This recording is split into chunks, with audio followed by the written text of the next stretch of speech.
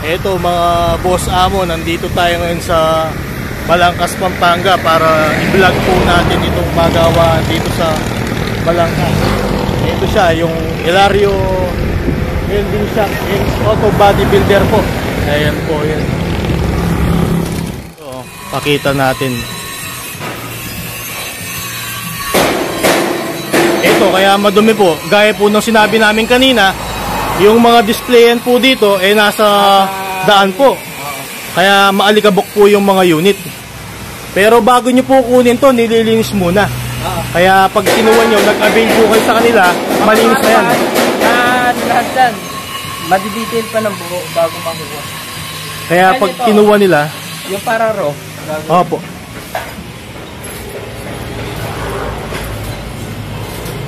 So, ano ang ginagawa? Ayan. oh. Ayan o. Talaga... Kap- happy stainless to na boss. no? Kaya pati bracket sa baba, stainless steel.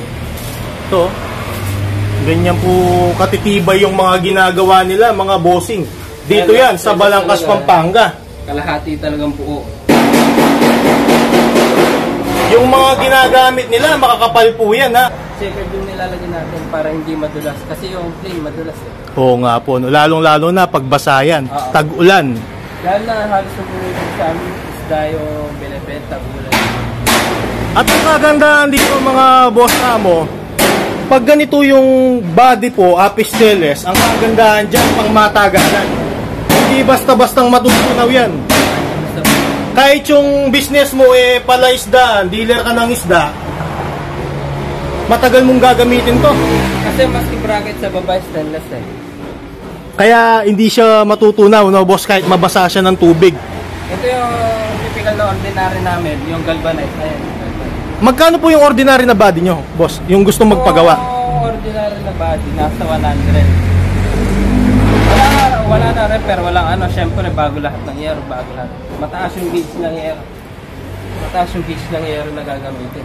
Bali, yung buong body ng FBL 300, 100,000, bago po lahat yun. Mga Ah. upholstery, Oo. salamin, Upholstery, salamin. Upuan. ilaw, upuan. Para yung nakita mo na sa likod. opo, May stepboard na rin, saka ano. stainless po yung Oo, stepboard. stainless yung stepboard.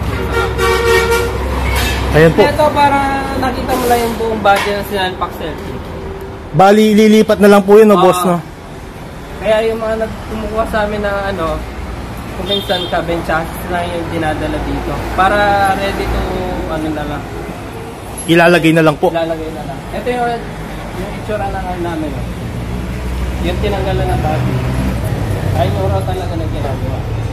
Ayan. Ito, ito yung mga ginagawa nila, mga boss. Masalukuyang ginagawa po to.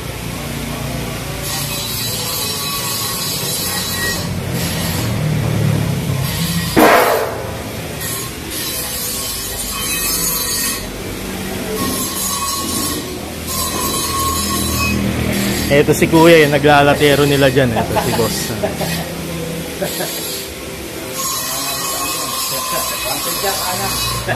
Kuya, ilang taon na po kayo naglalatero dito sa Balangkas, Pampanga? Mga ilang taon po? 90s po. Eto, mga boss.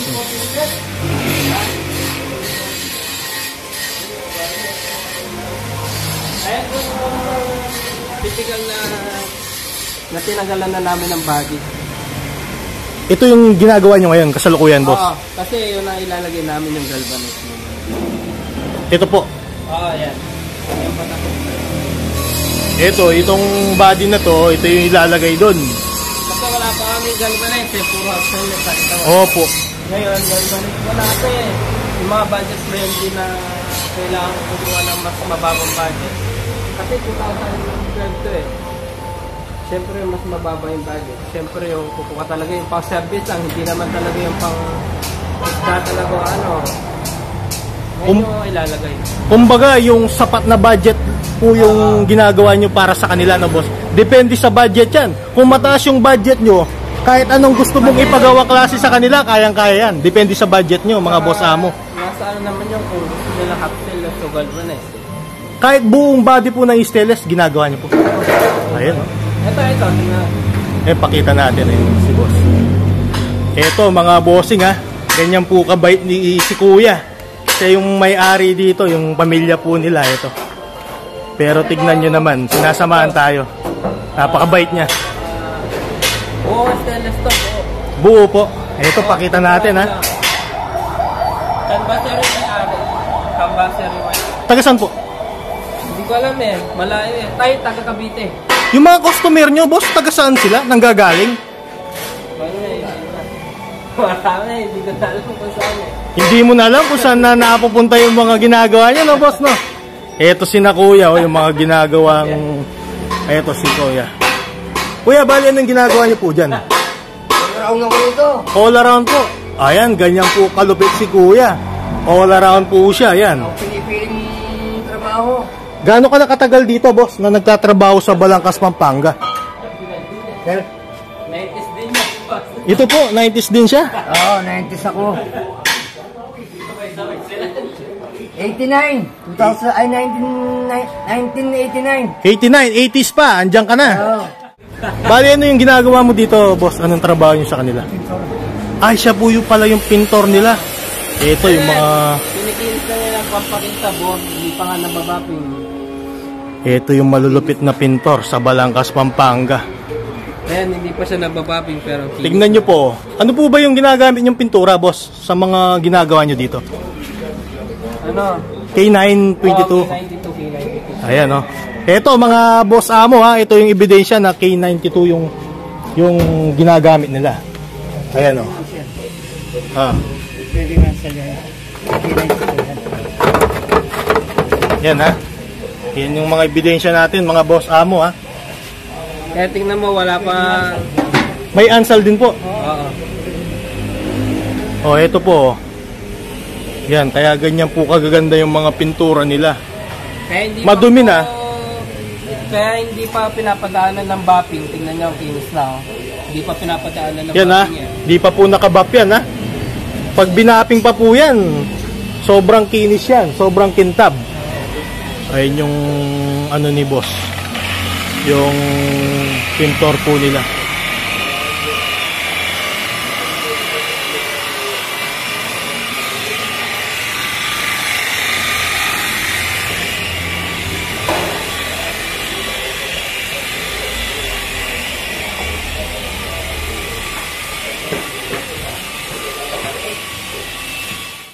Ito, meron din po sila ng drop side po dito na body. Ito second hand lang po yan na hindi po nila gawa. Kasi wala, wala sira po. No? Wala sira. Pero gumagawa din po kayo ng ganyan, boss, kung gusto nila magpagawa, no? Kahit stainless po, gumagawa po sila ng ganyan na drop side. Kompleto kami ginagawa dito. Drop side, FB body, saka ano, alumban. Pwede. Stainless na alumban kahit na kompleto. Wala naman inurungan yung mga latero dito. Oh, ganyan po kalulupit yung mga latero natin sa Balangkas, Pampanga. Walang hindi kaya. Lahat kaya po yan pagdating sa body. Ito na yung vlog natin. Ayun po, maraming maraming salamat sa iyo, boss. Pinaunlakan niyo po yung pag-visit po namin sa inyong ano, shop po dito sa Balangkas, Pampanga. Maraming maraming salamat po, bossing. Thank you, thank you, thank you. Ayan po si Kuya, napakabait.